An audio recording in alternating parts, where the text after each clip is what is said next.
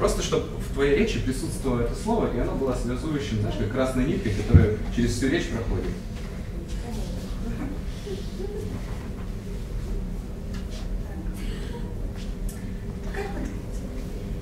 Это животное обитает в Антарктиде. Э, Они...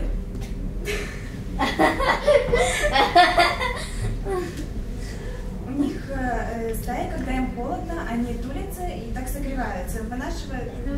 Пингвин. Черный Пингвин? Да.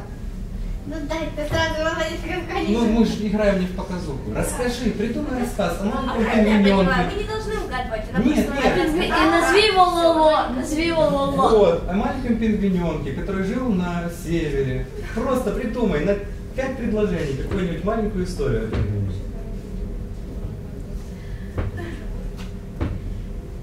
Родился маленький пингвинчик.